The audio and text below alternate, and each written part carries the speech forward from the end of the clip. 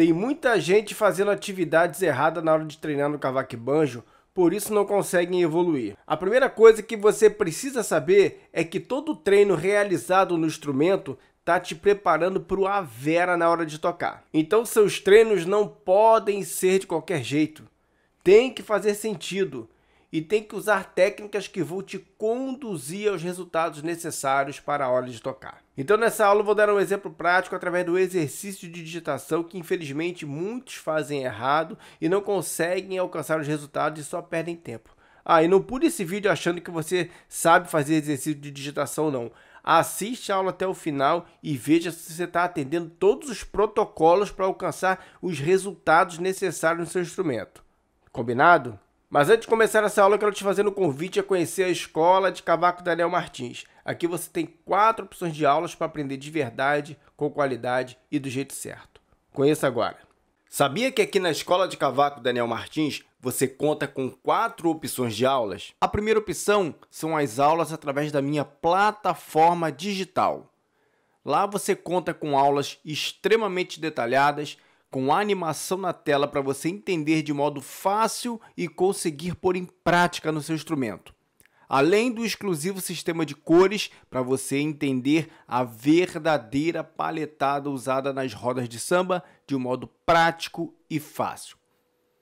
Na minha plataforma de aulas, além do acesso vitalício e suporte tira dúvidas, você também participa de uma masterclass onde os alunos se encontram para aquele bate-papo e ter a sua evolução avaliada. A segunda opção são as aulas ao vivo através de videoconferência, onde o aluno tem as aulas individuais com dia e hora marcada e assim assume aquele compromisso semanal de fazer as aulas diretamente com o instrutor. A terceira opção são as aulas presenciais em nossa escola que fica localizada em São Gonçalo, Rio de Janeiro, para quem mora nas proximidades e pode vir até nós. A quarta opção é a mentoria diretamente comigo, professor Daniel Martins. Como funciona? Na mentoria, eu monto aulas de acordo com a necessidade do aluno, ou seja, as aulas são personalizadas de forma individual e as atividades são feitas ao vivo juntamente com o aluno. Quais são as vantagens da mentoria? As aulas têm o conteúdo escolhido pelo aluno, de acordo com a sua necessidade. De repente você precisa só aprender a paletada, você quer aprender sobre campo harmônico. Então você diz a sua necessidade e eu monto as aulas e material de acordo com a sua necessidade e com material exclusivo para as suas aulas. As aulas são ao vivo direto comigo através do Google Meet. Então aqui na Escola de Cavaco Daniel Martins é o lugar certo para você aprender a tocar cavaco banjo garantido. Leia a descrição desse vídeo, escolha uma das opções de aula e venha fazer parte dessa família que desde 2012 realiza sonhos. Te aguardo. Eu quero começar essa aula falando das consequências por você fazer exercícios de digitação errado. Olha só, dedos travados, falta de coordenação motora, dedo mindinho fraco, troca de acordes com dificuldade e habilidade comprometida. Eu vou usar como exemplo aqui um exercício de digitação e vou te mostrar todas as técnicas necessárias para você alcançar resultado. Mas antes eu quero que você entenda uma coisa. Eu vou exemplificar aqui com um exercício de digitação, mas em cada etapa do aprendizado do seu instrumento tem uma técnica que faz você evoluir. Então, se você está travado em qualquer outra parte do seu instrumento, certamente é porque você não está aprendendo, não está treinando com a técnica correta. Eu vou te mostrar aqui através do exercício de digitação, mas lembre do que eu estou te falando. Se você está travado, por exemplo, paletada, troca de acorde, é, não consegue decorar sequências, não consegue tocar a música sem depender das cifras, não consegue tocar de ouvido, enfim, não consegue se virar na roda de samba, tudo isso é porque você não aprendeu ou aprendeu do jeito errado e na prática é porque você não usa técnicas corretas para evoluir. O exercício que nós vamos usar é esse aqui, ó. 11, 13, 12, 14. Não pule o vídeo, não pare de assistir a aula, porque você acha de repente que sabe fazer. Veja até o final a minha explicação para ver se você realmente está fazendo do jeito certo, ok? De repente parece fácil, né? Você olhando assim, você olha uma tablatura e coloca em prática 11, 13, 12, 14. Mas será que você está fazendo todo o protocolo necessário para você evoluir e alcançar os resultados? Que resultados são esses? Aquecimento, agilidade, elasticidade e coordenação motora dos seus dedos.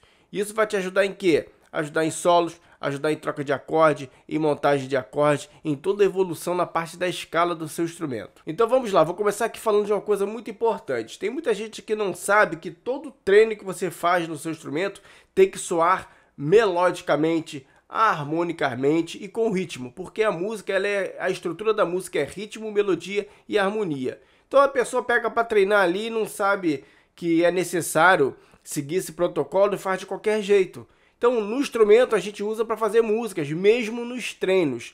Então, a digitação ela tem que soar melodicamente. O que é melodicamente? É seguir uma linha melódica, como se fosse uma música. Por exemplo, na digitação é como se fosse um solo. Ó.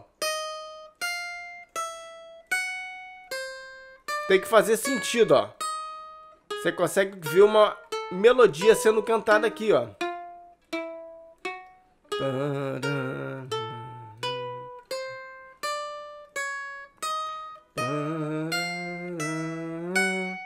Aí tem gente que faz assim, ó.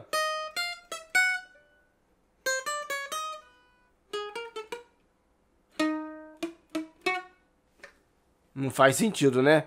sempre tem que soar melodia. Então, a melodia é definida através de um ritmo e de um beat, ó. Começou num beat, ó. Tem gente que usa o metrônomo, tá? E é bom, é recomendado você usar o metrônomo, mas para quem está iniciando é, é, um pouco complicado, né? Então é basta você ter uma manter o andamento da digitação que você está fazendo, tá? Para você não precisar usar o metrônomo no início, que às vezes a pessoa se perde. Apesar que para digitação é bem fácil, né? Cada batida ali do metrônomo você colocando ali no beat baixo, 70 BPM, né? 60, 70 BPM ali, bem devagarzinho, você vai conseguir, ó. Tá, tá, tá, tá, tá, tá, tá, tá. Então você tem que seguir uma constância na sua digitação. Já é o primeiro ponto. Então, o primeiro aprendizado que você tem que ter é esse. Toda atividade que você faz no seu instrumento, eu estou falando da digitação, mas em toda atividade tem que ter melodia, ritmo e harmonia, tá bom? Mesmo no treino, porque é tudo isso que você vai usar para tocar músicas. Então a digitação tem que soar melodicamente.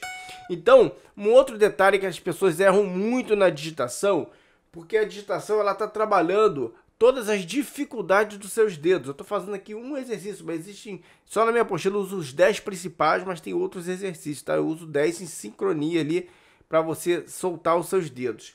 Então, tem uma lógica, tem uma técnica para você soltar os seus dedos. Então, quando você faz essa digitação, de repente, eu vou falar aqui na tablatura, né? 11, 13, 12, 14.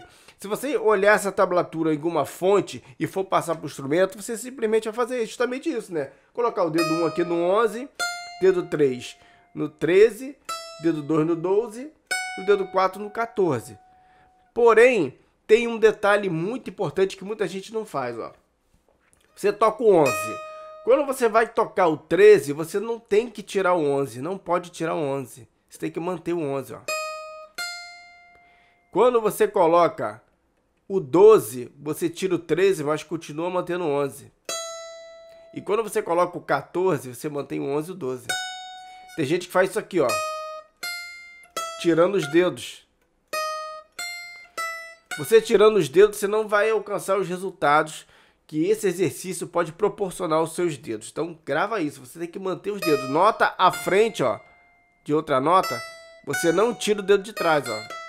Mantém, porque isso é justamente para você forçar os outros dedos eles terem a coordenação motora independente. Então quando você solta aqui, ó, você está dando uma autonomia que o dedo já tem.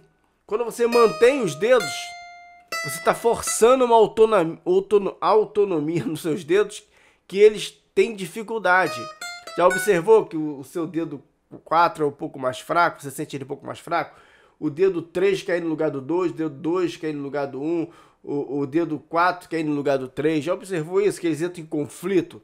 Então, se você soltar os dedos, ó, você não está ajudando os dedos a eliminar essa dificuldade. Mas quando você mantém o dedo, ó, principalmente em outros exercícios mais difíceis, você vai perceber que seu dedo vai né, oscilar na hora de tocar. Então é justamente isso. Você tem que trabalhar, você tem que é, pegar é, é, essas dificuldades, colocar em prática para poder saná-las. Então, ó, colocou o dedo, ó, não tira.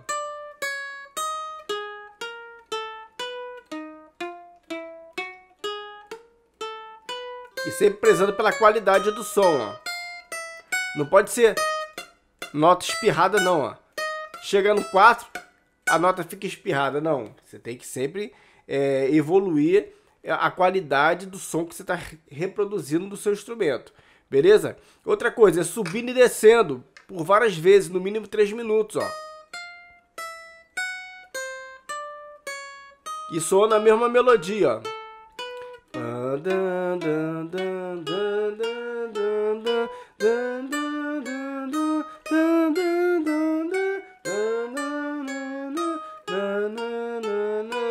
Tô fazendo uma melodia, ó. E mantendo uma constância. Outro detalhe importante, ó. Palhetada tem que ser alternada para baixo e para cima. Tem gente que quer fazer só palhetada para baixo, ó. Você fazendo palhetada só para baixo, priva a sua velocidade na hora de solar. Imagina você solar só palhetando para baixo. Faz muita força. Para baixo para cima, ó, tranquilo. Ó. Beleza? Sempre fazendo palhetada alternada. E um outro detalhe, quando você estiver treinando digitação, o início não é velocidade, e sim qualidade e constância. Grava isso, qualidade e constância. Qualidade no som das notas e constância, ó. Mantendo o mesmo som, no mesmo beat, ó. Porque isso é música. A música ela não fica oscilando. A música mantém um beat, um ritmo e uma harmonia. A música nunca vai fazer isso, ó.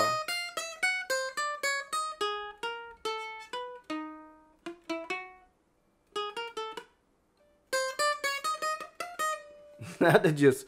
A música ela mantém uma constância. Então você precisa ter constância. Então por isso no início, preze, ó, pela qualidade, constância, nada de velocidade. Vá treinando os dedos, porque aqui você está fazendo o quê? Adestrando os dedos. Eu gosto de usar essa palavra. Está fazendo seus dedos obedecerem os estímulos, a sua ordem, você mandar o dedo obedecer. Quando eles estiverem obedecendo com precisão, você vai dando uma acelerada, mas isso é com o tempo. Aí você acelera mais um pouquinho. Aí vai aumentando.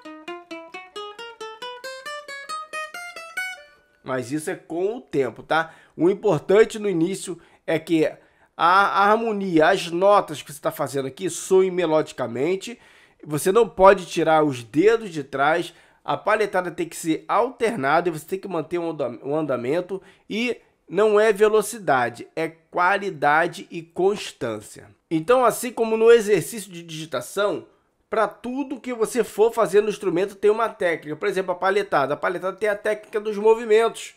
O movimento na hora de bater para baixo, para cima, a hora de apertar, abafar e soltar a corda. E há uma sincronia, né? Aqui você extrai o som, aqui você define a levada que vai acontecer. Então tudo tem uma técnica. Troca de acorde tem uma técnica, né? De repente está cheio de dificuldade de fazer uma troca de acorde precisa, ó. Sua troca de acorde fica assim, ó. Então tudo isso você melhora através de técnica. Assim como eu ensinei uma técnica aqui para digitação, existe técnica para tudo para você evoluir mais rápido no seu instrumento. E se você quer aprender todas essas técnicas, aprender com qualidade de verdade, do jeito certo e garantido, venha fazer parte da minha plataforma de aula digital. Lá eu te ensino do absoluto zero até você ficar pronto para tocar em roda de samba, a inclusive você tocar sem cifras, tocar quando alguém pede o tom, tudo, curso completo. O curso aqui na Escola de Daniel Martins não é fatiado. Você não compra um curso, depois tem que comprar outro para outra coisa e outro para outra coisa. Não, aqui você tem tudo englobado em apenas um curso. Tem gente vendendo curso fatiado por aí, né? Vende o um curso mais barato, você fala, ah, tá mais barato, mas aí você compra uma parte para aprender a montar acorde. Depois você compra outra parte para aprender paletada. Depois você compra outra parte para aprender banjo. Aí você aprende, compra outra parte para aprender campo harmônico. Não, aqui você compra um curso que tem tudo, tudo em apenas um único acesso. Você tem todo o conteúdo e ainda participa de atualizações, é. Acesso vitalício e todas as futuras atualizações, conteúdos que entrarem na plataforma, você já terá direito a acessar. Além disso, Além da plataforma de aula digital, aqui na Escola de Cavaco Daniel Martins você tem as opções de aulas ao vivo, por videoconferência com meus instrutores, tem aulas presenciais na escola que fica aqui em São Gonçalo, Rio de Janeiro, e também tem a opção de fazer mentorias ao vivo comigo. A mentoria são aulas mais específicas, onde eu ensino diretamente aquilo que você precisa aprender. De repente você está com dificuldade só na paletada, aí você fala, eu quero fazer a mentoria com o professor Daniel Martins, de paletada. Quero fazer uma mentoria com o professor Daniel Martins sobre campo harmônico, tocar de ouvido, tocar sem cifra. Eu quero fazer uma mentoria com o professor Daniel Martins sobre formação de acordes. Então você define o conteúdo que você quer, que você precisa, eu monto a aula específica para você. Então para informações, leia a descrição desse vídeo.